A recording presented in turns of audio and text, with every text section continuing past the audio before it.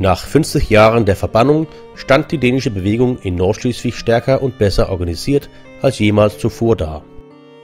Der Versuch der preußischen Verwaltung, den Landesteil zu germanisieren, war fehlgeschlagen. Die dänischen Nordschleswiger hatten gelernt, dem Druck zu widerstehen.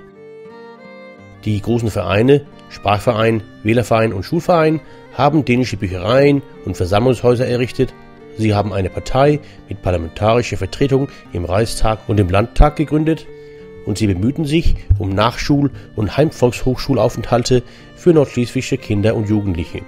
Nach der Jahrhundertwende war der Nordschleswigsche Kreditverein und die Bodenwehr hinzugekommen.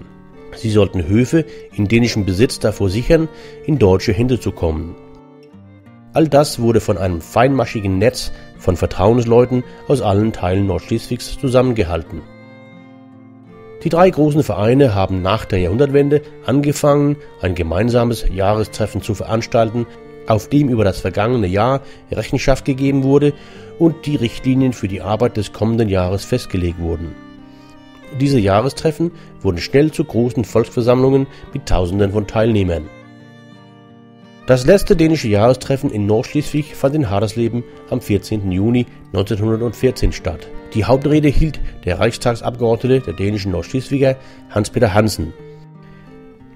Die Rede gibt die Stimmung von Selbstbewusstsein, Trotz und Optimismus wider, die für die dänische Bewegung in den Jahren vor dem Ersten Weltkrieg kennzeichnend war und dem standen die gleichzeitig stattfindenden preußischen Festveranstaltungen auf Düppel gegenüber, die aus Anlass des 50. Jahrestages des Sieges über Dänemarks 1864 stattfanden.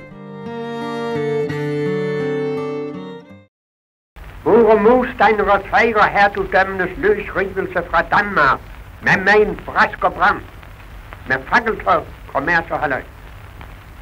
Det falder os ikke ind at nægte dem ret og adkomst der hat heute sejrsfeste til minde om de sejre, som de faktisk vandt for 50 år siden. Men vi finder, at de kunne fejre dem på en hensynsfuldere og værdigere måde. Hvad vi i dag vil påtale og påtale skarpt, hvad vi i dag vil protestere imod og protestere energisk imod, det er den på deres feste atter og atter tilbagevendende hule tale om, at vi i 1864 er blevet befriet fra et dansk år, et dansk voldsregiment. Vi vil i dag vidne, så det kan høres over hele Norden og dybt ned i Tyskland. Den nu slesvigske befolkning har aldrig følt sig tynget af et dansk år. Den nu slesvigske befolkning har aldrig sukket under dansk voldsregiment. Vore fædre har tværtimod haft lide kår under det milde danske regimenter.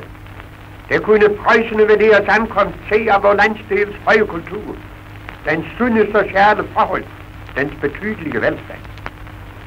Vore fædre har kunnet glæde sig ved stor personlig frihed i den danske tid.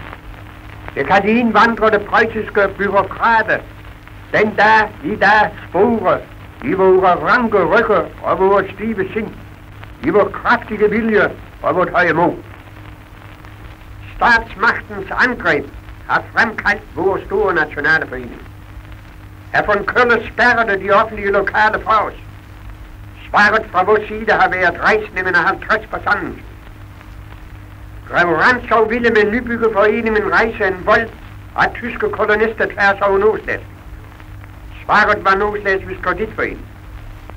I fjor sattes bestræbelserne for at binde vores nedarmede frie jord i system. Svaret var landeværens oprettet. Sådan har vi gang efter gang givet vores modstandere slap på tiltalen.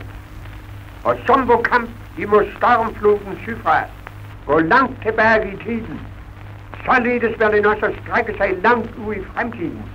Vi har liv til sag og kraft til kamp. Vi har lyst og trang. Vi har varme og begejstring. Vi har tro på vores folkestammes fremtid.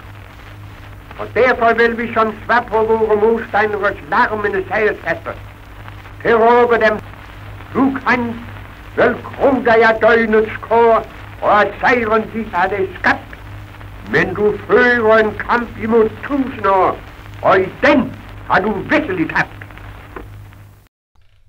Die folgenden Ereignisse der Weltgeschichte haben dem Jahrestreffen von 1914 und insbesondere Hans-Peter Hansens Rede eine besondere Bedeutung verliehen.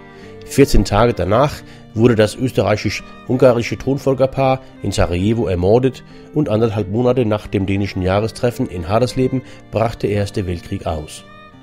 Als Deutschland nach mehr als vier Kriegsjahren 1918 als Verlierer dastand, war die Zeit gekommen, in der die Organisationen der dänisch gesinnten Nordschleswiger ihre endgültige Probe bestehen sollten, eine Mehrheit für eine Vereinigung mit Dänemark in die Waagschale zu werfen